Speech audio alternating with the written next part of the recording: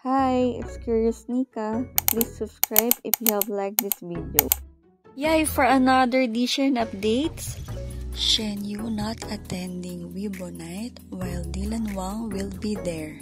Alright, I think that's a bit bad news for us, but however, Shen Yue will be attending this Baidu Boiling Point ceremony, and that will be on this.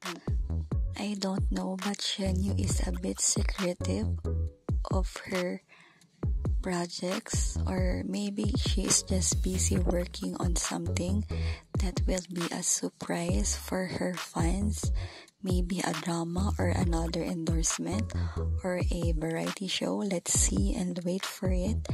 And moving on to Dylan Wang, of course, Dylan Wang will attend Weibo Night and will be in the event for Louis Vuitton event that will be in Paris.